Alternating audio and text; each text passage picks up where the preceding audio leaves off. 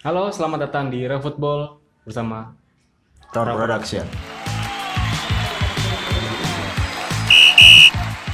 Ya, jadi kita akan membahas preview UEFA Super Cup. 2019. Ya, antara Liverpool melawan Chelsea ya, yang katanya cukup sengit. Kenapa gue bilang katanya? Karena gue nggak nonton kemarin. Jadi emang sebenarnya janjian gitu kan. Cuman anjing jam 2 gue harus bangun pagi, kakek nggak bisa. Lagian, Karena, karena dia ada paginya lagi PKL. ya, lagian juga yang main bukan MU jadi nah, ngapain lah. Untuk laga sebesar ini ya, menurut gua dengan wasit yang bernama Stephanie Frappart, wasit Cewek pertama, cewek ya. Cewek. Wasit cewek untuk laga sebesar ini sih menurut gua tuh gimana ya? Terlalu berani sih ya kalau UEFA sih menurut gua. Iya. Apalagi kan ya pertandingan besar gitu, big match, Tapi final juga. Ada wasit cewek yang bagus gak sih? Gua kalau Kurang tahu lah ya. Cewek kurang tahu sih ya. Cuman emang jarang aja wasit cewek. lah. Ya, ini juga pertama kali mungkin. Mungkin ya. Tapi kalau menurut gua sih lihat dari kinerja dia di lapangan menurut gua apa ya? Ya lumayan kontroversial juga sih. Ah. Soalnya mungkin karena cewek ya, mungkin ya, karena mungkin takutnya belum berani ngambil keputusan gitu. Mungkin. Oh, ya. Menurut gua pribadi. Ragu-ragu. Ya, karena ya itu dia, karena cewek yang mainnya cowok. Atau mungkin karena kurang peka. Waduh, nggak tahu juga. Ya juga ya. Kurang tegas gitu ya. Eh, UEFA Super Cup ini edisi ke-44 44. yang mempertemukan Liverpool berhadapan dengan Chelsea Hmm. sama-sama dari tim Inggris Yoi. yang merupakan pertama kalinya setelah lima tahun berturut-turut itu tim tim Spanyol ya Heeh. tim-tim dari Spanyol dan pertandingan ini juga diadakan di Istanbul Turki Mm. stadionnya Vodafone Park. Besiktas Oh iya, basic tas ya. Vodafone Park Vodafone namanya Park ya. namanya.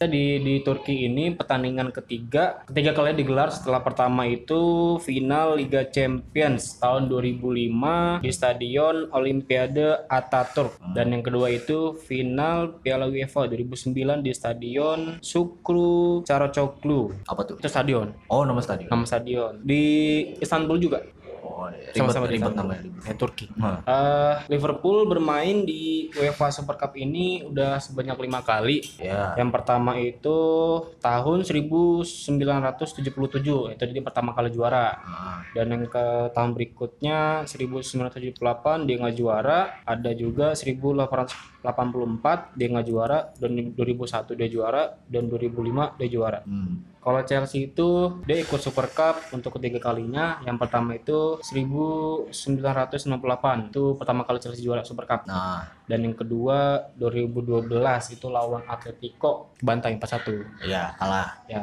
Ah, dan 2013 lawan Munchen oh berarti Chelsea udah empat kali ya empat kali masuk lah ya. oh Liverpool 6 berarti dong ya sama tahun ini ya Liverpool. tadi kan terakhir 2005 itu lima kali sama ini 6 berarti Iya, iya, kayaknya sih 6. 6 Liverpool 6 Chelsea 4 sama tahun ini Hmm. dan tiga-tiganya Chelsea gagal juara head to head dari kedua tim itu sebelumnya pertemuan lima kali ya dari di Premier League tentunya Liverpool menang itu cuman sekali musim lalu di Anfield 2-0 Hmm. sementara Chelsea menang dua kali dan sisanya imbang Oh, itu head to head dari Chelsea Liverpool beberapa pertandingan terakhir lah. ya. beberapa pertandingan terakhir Chelsea Liverpool Hmm.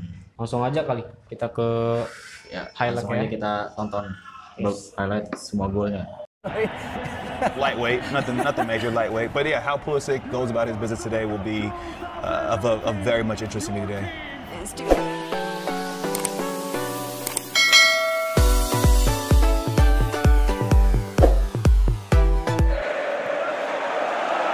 Liverpool get the UEFA Super Cup underway. Nah, ini sempat hand juga nih kayaknya. Ball by Van Dijk Iya. handball handball Van Dijk. Fabinho. Unexpectedly. Then finding Pedro. nah ini peluang pertama dari Pedro Itu. Across his goal. strikers who Frank Lampard's going to go with, just finding his feet. Nah ini ini menurut gua gokil sih penyelamatannya Kepa. Di refleksnya. Refleksnya gokil. Dan umpannya juga ke Muhammad Salah juga gokil sih. Iya sih, emang begitu Liverpool mah. Nah ini juga Eh, tiang ya dari Pedro ya. Tiang lagi loh. Oh nah ini tiang. Das. Ini peluang dari Giroud. Giroud.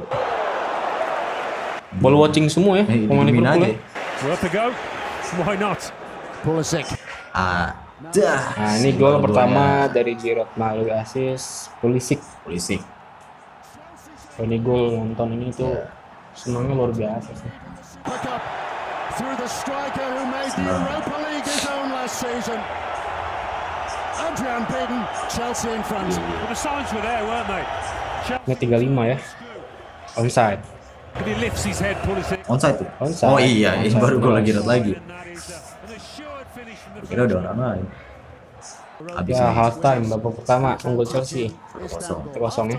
Dan ini tenang, uh, tenangan dari Fabinho dari luar kotak penalti. Ini ya cukup buat jantung gua lah ya. Nah ini Ah, gol dari Mane. Mane. Setelah Firmino masuk. Firmino masuk di babak kedua. Soalnya kan Firmino kan nggak main di babak pertama diganti sama Chamberlain. Chamberlain. Babak kedua Chamberlain keluar, Firmino masuk. Hasilnya ya gini lah, Berubah langsung. berubah ya. langsung berubah. Ya ini masih cewek yang tadi. Nah ini menurut gua gokil sih. Double save. Double save dari Kepa. Mungkin kalau bukan Kepa yang main udah gol kali ya. Kenapa nggak Caballero? Beda. Beda kualitasnya. Iya iya. Bukan gua ngeraguin. Nah, Ini offside. offset dari Mason Mount ya. Nah, Impulsif nggak ada. ya? Mane. Ya. Firmino. ya tendangan keras dari Gol Mane. dari mana? Gol kedua. Cetak brace. Firmino lagi asisnya. Mana yang cetak brace di pertandingan ini? Melalui assist dari Firmino lagi. Half. 2-1 sekarang ya. 2-1. Di comeback. Nah ini penalti buat Chelsea itu menurut gua kontroversial juga sih. Kontroversial. Soalnya dari kontaknya si Adrian ini minim juga ke kakinya Tammy tadi gue lihat sih. Ya itu sih pandangan gue sebagai Masih perdebatan lah ya. amatir lah ya. Kalau menurut gue itu kontroversial. Penalti ini. Jadi gue penalti. Second. No messing. It's Origi. And he's in a derby last season.